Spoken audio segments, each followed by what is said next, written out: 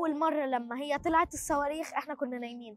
فكرنا إن هي رعد وبرق بس طلعت إن هي أصلا صواريخ محدش كان فاهم حاجة ولا كان حد راضي يقول لنا هو إيه ده.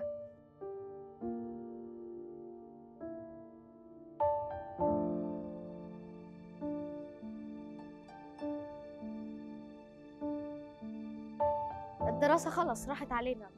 وأكيد يعني كل يوم بعيط عشان حتى الحمام تبعنا وحشنا سرايرنا وحشونا كل هدول وحشونا. وبعدين هنا خيمة وشوب ودبان مرة تصومي في حرب وكده يعني. أما إحنا لو كنا في مصر كانت حاجة تانية حياة تانية بجد.